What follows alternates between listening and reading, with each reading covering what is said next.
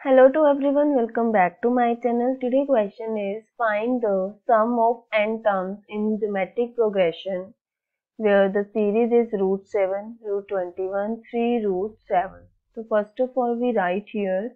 first term है हमारे पास root 7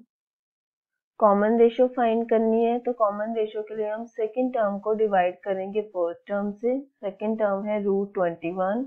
upon first term is root seven this is a one first term ये ए two second term और ये है ए थ्री थर्ड टर्म तो इसको हम लिख सकते हैं ट्वेंटी वन को seven into three divided by root seven root seven इससे कैंसिल हो गया तो क्या बचा हमारे पास? रूट थ्री कॉमन रेशियो आ गई रूट थ्री फाइंड क्या करना है हमें? सम ऑफ़ एन टर्म तो S n is equal to a into one minus r raise to power n divided by one minus r substitute कर देंगे value ए है हमारे पास root seven into one minus r root three raise to power n divided by one minus root three तो ये आ गया हमारे पास एन टर्म का सम इसको फर्दर सिंप्लीफाई कर देंगे तो ये आ गया root seven into one minus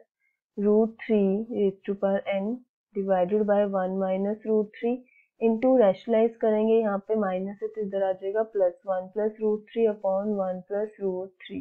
तो ये आ गया हमारे पास root seven into one minus root three raise to power n into one plus root three divided by one minus root three square is three is equal to यहाँ पे हमारे पास क्या आ जाएगा माइनस टू यहाँ पे हमने फॉर्मूला लगाया A minus B into A plus B is equal to A square minus B square तो ये आ गया minus root seven upon two one minus root three raise to power N into one this is your answer thank you